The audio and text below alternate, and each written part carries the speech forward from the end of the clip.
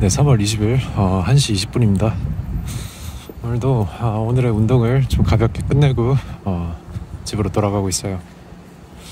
오늘 같은 경우는 5시 몇 분쯤에 일어나서 네, 그때부터 알고리즘 공부를 하다가 한 11시쯤에 나왔네요. 네, 11시에 나와서 밥을 먹고 어, 어, 운동을 걸어가면서 또 킨들 책 읽고 아, 잠시 철봉 좀 하고 목 좀 풀어주고 그렇게 하고 나왔습니다.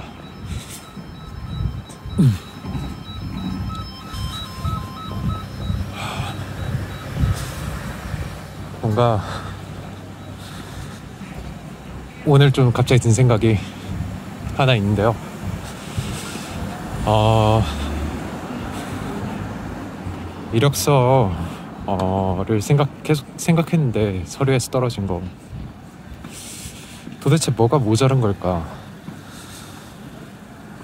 거기서부터 의문이 시작돼가지고 이력서뿐만이 아니라 내 삶에 도대체 뭐가 모자란 거지를 좀 생각하게 되었어요.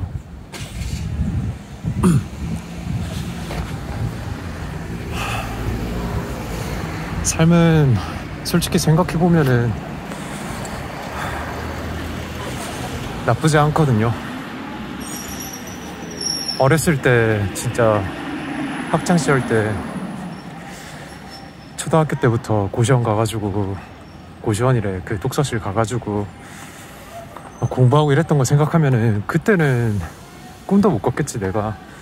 아 꿈은 꿨었다. 언젠가 해외로 나가서 그때 미국 갈 줄 알았는데. 해외를 나가서 어 서양 사람들이랑 같이 일하고 싶다. 뭐 아직도 기억이 나요. 그 중학교 때 그때 너무 막 우울해가지고 그때 막 우울해도 그때는 진짜 할 수밖에 없었어 진짜 현실이 너무 너무 아니었거든 그때 어떻게든 저는 집을 벗어나고 싶었어요. 워낙 워낙 워낙 아, 네 아무튼 네 말을 아끼겠습니다. 근데 뭐 그때 생각해 보면은 뭐 장소가 일, 장소가 일본일 뿐 아, 서양 사람들이랑 일을 하고 있고 영어로 일본어도 어, 같이 온 친구들보다는 확실히 못해요. 왜냐면 일본에 그렇게 관심이 없었기 때문에. 하지만 뭐 생활 가능하고 일하는 거 가능하고 지금 책도 읽고 있는 거 일본어 책이고 뭐 모르는 단어 가끔씩 나오지만 뭐 어때? 그러면. 아, 번역가가 되는 것도 아닌데. 아뭐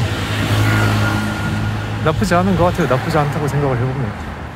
근데 난 지금 도대체 뭐를 놓치고 있는 걸까?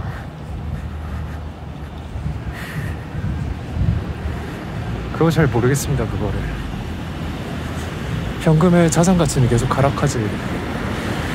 뭔가 투기를 안 하는 내가 너무나 바보처럼 느껴지지. 어, 뭔가 열심히 일만 해가지고 금전적인 여유를 얻으려고 하는 게 이 생각부터가 좀 멍청한 짓이 아닌가 이런 생각도 들고.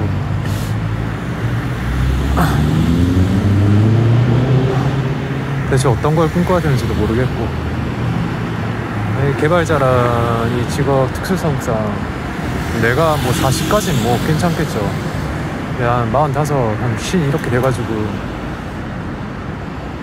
젊고 에너지 있는 이 지금 나 같은 20, 30대 사람들을 내가 경쟁할 수 있을까 이런 생각도 들고 나도 언젠가 늙을 거 아니야 그렇게 지금 아무리 뭐 괜찮다 하더라도 이제 보자. 이제 한 10년, 20년 후 얼마나 또 바뀔지. 뭐를 준비해야 될지.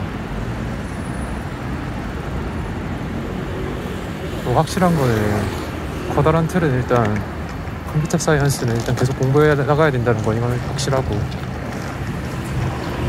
커다란 틀에 맞춰가지고 지금 일을 하고 있는데 근데 그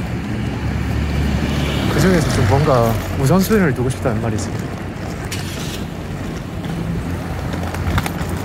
그러니까 지금 맞다고 생각하는 게 운동이랑 공부랑 청소잖아요 청소.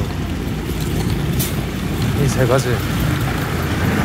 이 세 가지를 할 때 뭐를 우선순위를 두냐 이거지.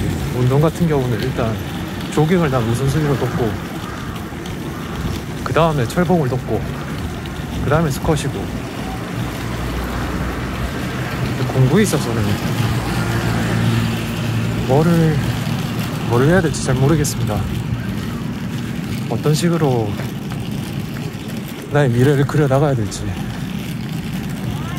알고리즘을 하고 있고 네트워크를 하고 있는 거는 아주 펀더멘털이기 때문에 상관이 없어요.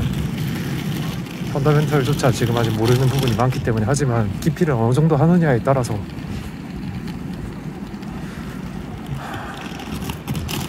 어느 정도의 깊이만큼 내가 파야 되는지도 잘 모르겠고.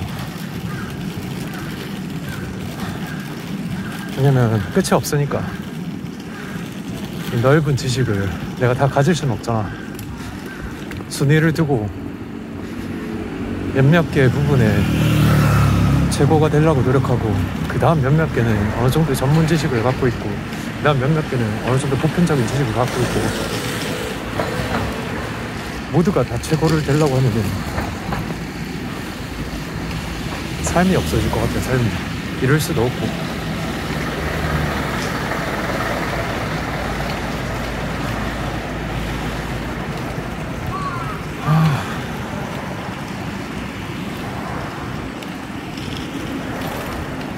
뭔가 며칠 전에 내 삶은 전쟁이라고 했잖아요 전쟁. 전쟁인 것 같다고. 나는 이 전쟁에 이기러 왔지 지러 온 게 아니라고.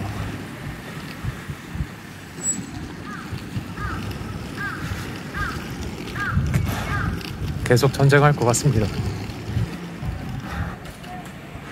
삶을 찾아서 전진하고 전쟁해야 될 것 같아요.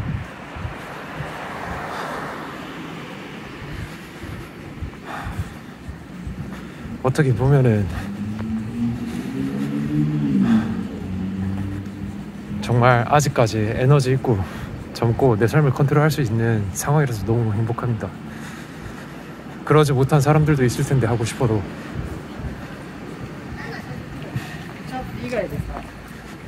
내가 하고 싶은 거는 할 수 있는 만큼 금전적 여유가 있고 지금 뭘 배우고 싶으면은 돈을 지불할 수도 있고 용의도 있고 능력도 있고 사 먹고 싶으면 뭘사 먹을 수도 있고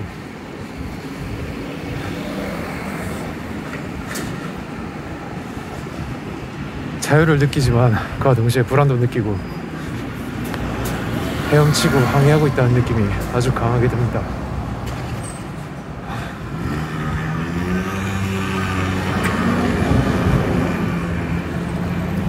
오늘도 열심히 살아봅시다. 오늘 남은 12시간을 오늘의 브이로그 여기까지 하도록 하겠습니다.